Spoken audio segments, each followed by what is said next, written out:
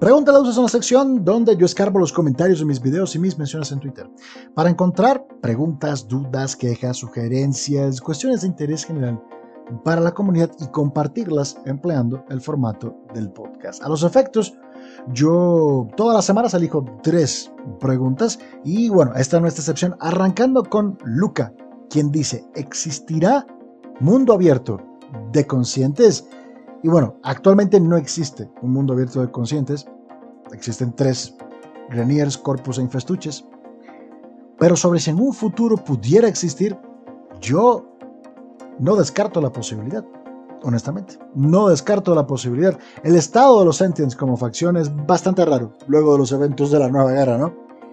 Porque la Nueva Guerra, dicho sea de paso, una vez más, spoilers, nos confirma de que Hornhau está vivo, tenemos una alianza bastante tenue con él y con el Stalker, pero en ese sentido sabemos que Hornhau puede representar una oposición, aunque ciertamente él nos debe, porque bueno, le salvamos a la hija, ¿no? Al menos en mi caso yo elegí a Natá, así que le salvé a la hija literal. Pero el tema de la facción de los Sentients es, raro, ¿no? Porque me imagino que la influencia Narmer dentro de los Sentients también se haya hecho sentir. Después de todo, bueno, Erra con su tratamiento como personaje un poco como que nebuloso, dudoso, difícil de digerir, yo diría que es el, el, término más adecuado, nos muestra que ciertamente hay una parte, o hubo una parte de los Sentients que, bueno, apoyaban la decisión de balas del tema de los Narmer y toda esa pendejada.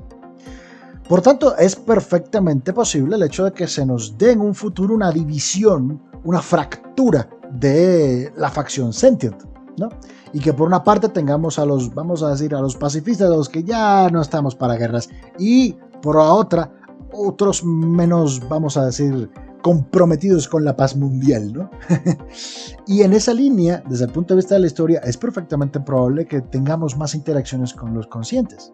Por otra parte, tenemos el hecho de que, bueno, cada facción importante en Warframe ciertamente tiene o tendrá su mundo abierto. En el caso, como les decía al principio, de Greniers Corpus e Infestuches, ya lo tienen. Próximamente sabemos que Dubiri es el mundo abierto de los corruptos. Y entonces como que nos falta la quinta pata de Ato, ¿no? Y en ese sentido, esa quinta pata serían los conscientes. Está por verse, honestamente, en qué dirección los desarrolladores quieren llevar a esa facción. Pienso que primero debemos ver las intenciones con los conscientes, ¿no? Como, como facción en el juego, para entonces luego entrar a especular en torno a posibles mundos abiertos o, bueno, implementaciones de contenido en esa dirección. Sin embargo, yo soy de la opinión de que es posible, es posible un mundo abierto de conscientes. Sobre si será en Tau o será en el sistema origen, ya esa es otra, esa es otra discusión completamente diferente. La cantidad de energía que se requiere para hacer un viaje a Tau, como mismo lo puso Balas al final de la nueva guerra, es bastante grande al punto de que su plan era tragarse, hacer que la devoradora se tragara el sol para usar esa energía y ¡pum! saltar. A bueno, su plan después de que su plan inicial, que era el de esclavizar a todo el mundo, incluidos a nosotros, fracasó. Y luego dijo, bueno, si no puedo con ustedes, entonces nadie se va a quedar con nada y aquí todo el mundo chao chao. Y ciertamente en ese sentido, nuestro querido Balas decidió irse a Tau. No obstante, no obstante, el irse a Tau no es tan sencillo como, bueno, agarremos nomás un rayo solar, ¿no? Está demostrado que es, que es bastante complicado. O al menos la historia nos dice que es un viaje bastante complicado. Por tanto, no creo que sea en Tau, más bien creo que será en el sistema origen, pero el, el cómo es otra historia, ese es otro tema, otra discusión. Pero estoy convencido de que sí, de que sí existirá un mundo abierto de conscientes. Sauro pregunta, ¿Crees que volverán a poner las habilidades para el viajero o eso solo fue para la historia? Hmm. Otra pregunta relacionada con la nueva guerra, como la inmensa mayoría que tenemos actualmente. Y en cuanto a las habilidades del viajero, son interesantes. Hmm. Y si nos guiamos por las tradiciones o las tendencias de Digital Extremes, es muy poco probable que esas habilidades simplemente queden solamente para la historia. En algún momento veremos alguna implementación similar. Si algo uno conoce de Digital Extremes luego de años de jugado Warframe, es que no les gusta desperdiciar sistemas. De hecho, por ejemplo, el gusano ese de la guerra interna el gusano dorado, ese del cual tenemos que escapar y que por un momentito poseemos al final, de ese concepto surgieron los necramecas. A Digital Extremes no le gusta desperdiciar sistemas, no le gusta invertir recursos en algo desde el punto de vista jugable que solamente van a utilizar en una ocasión.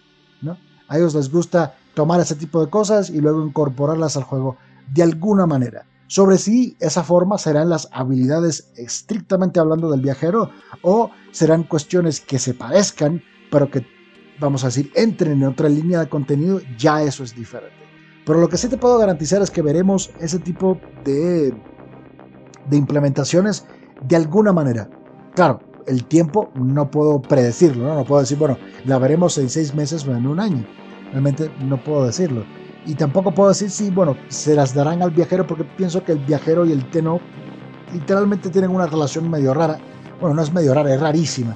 Porque literalmente son dos seres que cohabitan en una misma existencia. ¿no? Es parte del concepto del eternismo que se presentó durante la Nueva Guerra, esa confluencia de pasados, presentes y futuros, donde nosotros existimos como un ser paracausal. He hablado del término paracausal en ocasiones anteriores con respecto a los teno, y ciertamente el viajero es una demostración de que el teno es un ser paracausal, o sea, un ser donde la relación causa-efecto no existe, y por tanto el tiempo no es, vamos a decir, una variable en la, la cual opere de la misma forma en alguien que evidentemente es una suerte de de conductor de, las energías del vacío, ¿no?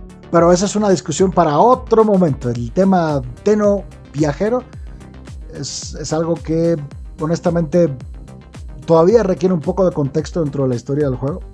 Necesitamos saber de dónde, bueno, sabemos de dónde viene el viajero, pero no sabemos cómo llegó a, bueno, dónde llegó al final del día. Sabemos que en algún punto pasó por Dubiri y por tanto, en ese sentido, todavía nos faltan elementos por descubrir. Por tanto, especular sobre la relación que existe todavía eh, eh, es un poco temprano para especular sobre la relación que existe entre el, viajero y, el Teno. Pero en cuanto a sus habilidades que fueron mostradas durante la Nueva Guerra, no fueron realmente habilidades, sino más bien eran herramientas, ¿no? Tenía una granada de humo, tenía un, como si fuera una suerte de botiquín o de, bueno, jeringa regenerable, ¿no? Y tenía un radar para detectar enemigos. Ciertamente, en ese sentido, pudiéramos ver algo en esa dirección. No sé, queda por verse. Pero lo que sí sé es que a no le gusta desperdiciar sistemas y de que veremos algo, veremos algo, honestamente. Lo que sí no sé es que será la implementación directa, ¿no? O si será, más bien, la implementación directa. Y finalmente, Leandro, con una pregunta que no tiene que ver con la nueva guerra. Para variar, ¿Por qué Venus está congelado? Y ciertamente cualquier persona que tenga un conocimiento mínimo de, bueno, el estado de los cuerpos celestiales de la vida real, cuando llega Venus dice, pero ¿y esto qué cosa es? Porque ciertamente Venus es uno de los planetas más cercanos al Sol, ¿no? literalmente como que no, no, no, la congelación que presenta en el juego no es normal. Y eso es muy cierto. No es normal porque Venus es uno de los planetas que los Orokin pretendieron terraformar luego de que, bueno, acabaron con la Tierra. Lo que pasa es que el proceso de terraformación quedó a medias gracias a la caída del imperio. Y el por qué Venus está congelado es porque literalmente los Orokin decidieron terraformar Venus a lo bruto, por decirlo de una forma, ¿no? Bombearon cantidades industrialmente absurdas de líquido de enfriamiento a la superficie del planeta, generando un microclima artificial, estas tormentas artificiales, y es de manera, bueno, a lo Orokin eran capaces de controlar esas tormentas artificiales a través de las regulaciones del flujo de, esos, de ese líquido de enfriamiento, creando literalmente ojos permanentes de tormentas en los cuales fueron asentándose o tenían la intención de generar asentamientos. Evidentemente, como eso quedó así, abandonado, ¿no? esos asentamientos, entre comillas, se convirtieron eventualmente en hábitats, hábitats nativos con especies propias o con animales que los Orokin introdujeron, pero que luego se adaptaron a ese ambiente. Y así es como tenemos el ecosistema de Venus, un ecosistema que es parte natural y parte artificial, porque los peces robots que pescamos en, el valle en los valles del orbe del líquido de enfriamiento, esos peces robots lo que hacen precisamente es regular el clima o actúan como reguladores de clima controlando el flujo, la densidad y la composición del líquido de enfriamiento que luego esos postes que se llaman postes llorosos emiten a la atmósfera enfriando artificialmente el, planeta o en este caso el área donde se encuentran ubicados. Así es como Venus está enfriado o congelado dentro del juego. Cualquier área que vemos así es porque está afectada por esa tecnología de terraformación que emplearon los Orokin, imagino yo a gran escala a lo largo de toda la superficie del planeta. Lo que pasa es que como lo dejaron inconcluso, evidentemente el, vamos a hacer la transformación de Venus a un paraíso nunca llegó a completarse y ahora lo que tenemos es, bueno, una suerte de ni muy muy ni tan tan, ¿no? Es como una tundra. Pero la razón por la cual eh, existe esa tundra es por eso. De hecho, la aventura de introducción al Valle de las Orbes nos demuestra o teoriza sobre qué pasaría si uno de esos postes llorosos deja de funcionar, o sea, el poste lloroso que protege, conforma el Valle de las Orbes, o los valles del orbe, como quieran llamarlo. Pues evidentemente si se destruye el poste, se acaba la regulación del clima y bueno, como que esa zona vuelve a un estado venusiano o el estado venusiano tradicional al cual estamos acostumbrados. Así que Leandro, el porqué de Venus congelado es ese, es un planeta que los Orokin pretendían terraformar, transformar en un paraíso similar a lo que era la Tierra antes de que, bueno, literalmente la destrozaran.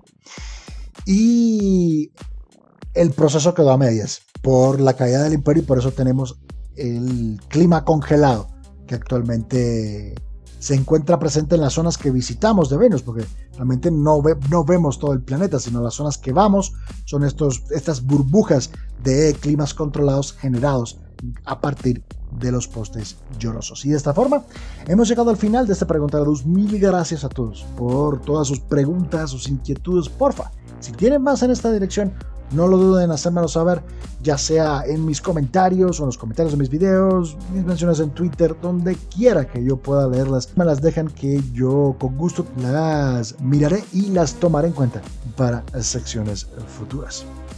Muchísimas gracias por haberme acompañado. Si les gustó el video o lo encontraron interesante, por favor consideren darle me gusta. No olviden suscribirse al canal si aún no lo han hecho para más cosas en el futuro. Síganme en Twitter para que estén al tanto de lo que sucede. Y si lo desean, también pueden apoyarme en Patreon. Ello les dará acceso a la versión íntegra del Duscast, entre otras cosas. Donde quiera que estén, que pasen un excelente día y nos vemos a la próxima. Se cuidan todos. Chao, chao.